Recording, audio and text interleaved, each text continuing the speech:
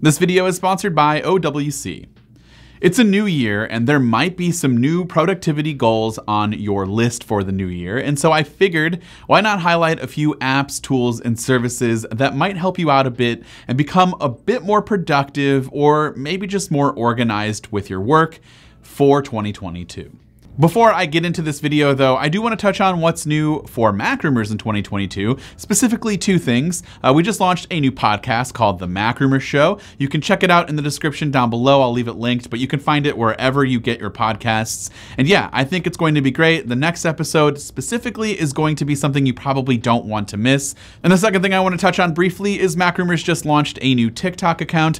You can check that out. I'll leave that link in the description down below as well. Uh, it'll be more short form content like tips tips, maybe behind the scenes, or just whatever we want to post. So go ahead, if you're into TikTok and you want to check that out, go ahead and visit that link in the description.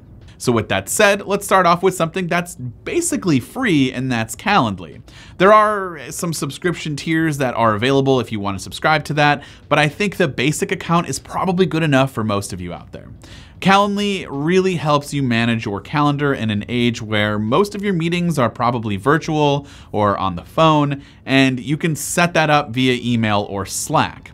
Now, my favorite things about the service is that it allows you to let those requesting a meeting via Slack or email actually pick the time slot rather than going back and forth through those emails and try to find a good time. So whenever someone requests a meeting, they select a slot from your schedule, they only see the times that are available to you and only the length and type of meeting that you want to have. Your schedule fills up efficiently and everyone avoids those pesky excess email exchanges that you know, sometimes don't end up going anywhere because you're still trying to figure out what your days might look like.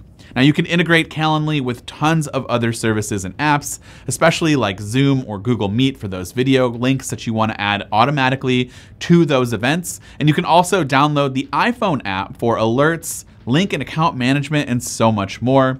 And if you haven't already tried this service out, there are lots of users, so maybe you've heard of it or maybe you've tried it out before, but I highly recommend really, really giving it a shot for 2022 and moving forward. And if you have tons of meetings on a daily basis, this might be a great tool for you.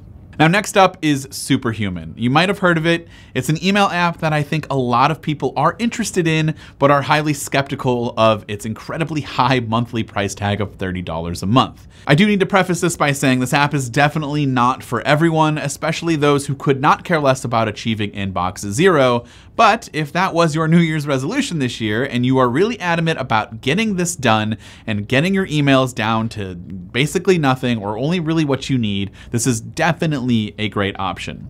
I like to think of Superhuman as Gmail on steroids. It's got all of the features that you would need from Gmail and then more functionality that you could ever want in an app that's also so incredibly efficient thanks to nearly every possible option of the app having some sort of keyboard command functionality tied to it.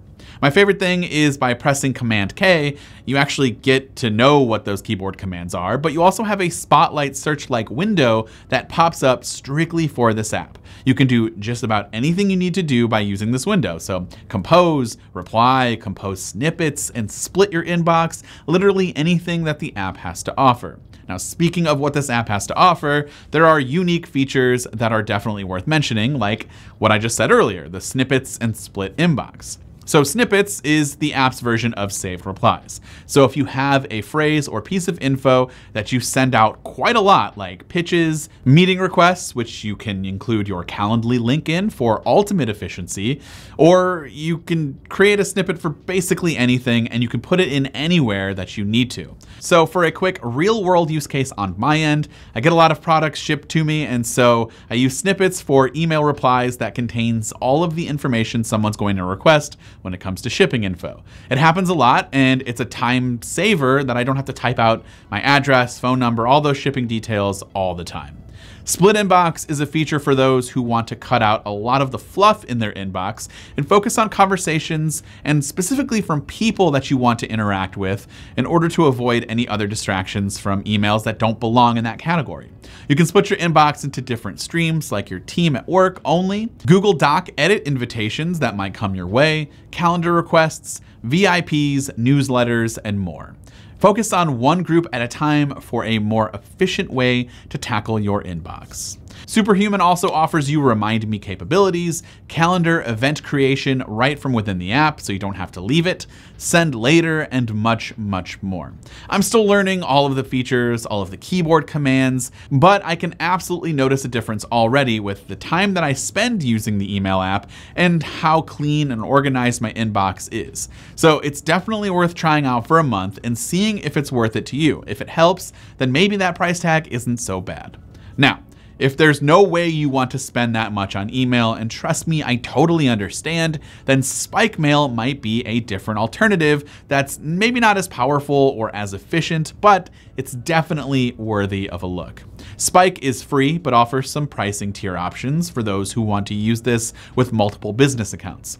What I like about Spike, aside from its conversational style email design and the easy functionality, is that this app combines notes, calendar, tasks, and more all into one app. So basically everything else that I've already talked about, or what I'm going to be talking about in this video, could potentially be unnecessary as Spike Mail aims to tackle everything on that list. So if you get a lot of emails that are basically just tasks, like you need to send an invoice or reply to somebody, and you need to put that on your task list, well, you can just do that right from within your inbox and everything stays neatly organized. You can have notes and documents from your team all in one spot. Group chats can be formed just like a messenger app, but it's all email. It actually kind of helps forget that you're spending so much time in email since it's a pretty unique design.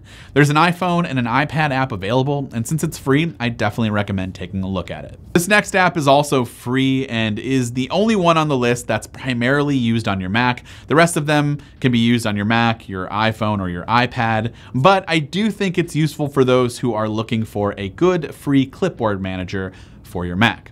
Maccy is basic but powerful. Maccy remembers tons of things that you've copied over time and is easily accessible via a keyboard command. You get presented with a list of all of your recently copied items, and you can easily choose from the list, or you can go back and search for keywords of items that you might have copied a long time ago and have it all saved for you right there and you can easily search through it, which is really cool. Now I'm an avid user of Paste, but I purchased that license a while ago and had I known about Maccy beforehand, I might not have done that.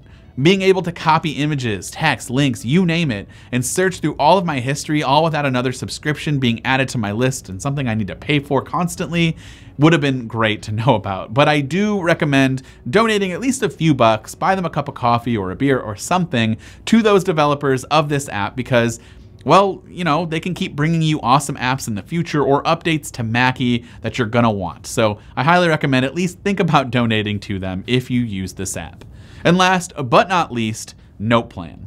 I think I might have featured this app a long time ago. I don't really remember it because I don't remember it being this good, but either way, I definitely want to highlight it because it could help you be more productive in 2022. This is another one of those app that fits pretty much everything that you could want except for email. And some of you might want to keep those things separate, and that's totally fine. The sidebar gives you a look at all your daily notes, which are your tasks, what you have coming up for the week, and review what's to come for the day or for, you know, the future of your task list. Then you have your notes section, smart folder functionality, and even the ability to tag notes and tasks with uh, hashtags for easy sorting later. I have a folder created for scripts here, which is actually where I wrote out the script for this video inside of Noteplan. And it's an easy to use markdown editor with tons of features that you could want. And this app is perfect for getting notes and work written up tasks planned out, and get everything synced up with your calendar. I really do like it, but of course, all of this stuff comes with a subscription these days, and so I recommend giving it a shot for a month or for the free trial period to see if something that it's going to change your workflow, and if it does, well, then maybe it's worth the $7 a month. Now, before we end today's video, I do want to give you more information about today's sponsor, OWC. The OWC Mini Stack STX is a stackable storage solution and Thunderbolt hub expansion for your Mac Mini, or really any Mac. With a universal SATA hard drive SSD bay and an NVMe SSD slot, you can actually expand your mini storage capacity to gigantic proportions. Three Thunderbolt ports are enabled for you to connect millions of Thunderbolt USB and future USB 4 drives, displays, AV mixers, cameras, and tablets, as well as desktop accessories like a keyboard, card reader, or mouse. The Mini Stack STX is whisper quiet due to its internal heatsink and cooling fan. You can add over 200 times more storage to your Mac Mini and add RAID protection via SoftRaid software. And of course, you're adding a mix of up to five Thunderbolt devices, three USB, and two displays. Even though this size perfectly for a Mac Mini, as I said before, you can use it with any Mac, even a PC, or your iPad and Chromebooks. And so for more information about OWC and the Mini Stack STX, visit the link in the description down below. This has been Dan with Mac Rumors. Thanks so much for watching, and I hope to see you around in the next video.